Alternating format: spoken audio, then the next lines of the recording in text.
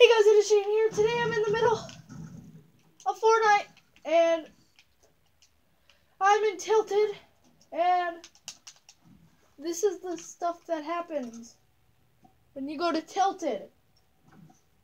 Uh, me and this other guy they're on the roof. I pick up the gun and I kill him. But then another guy comes from behind with a shotgun and almost kills me. Luckily, I killed him. And I need to heal up. Like, very badly. Like, I'm, yeah, I'm gonna have to use all my bandages. And is that a shield? Uh, oh wait, no, that's the outside world, right? Yep. Um.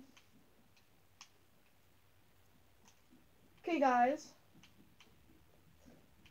I've been trying to get some action, and here's some action. So, I'm gonna do this today. Wait a minute, was that a? Was that a okay, that was just a little box. Um.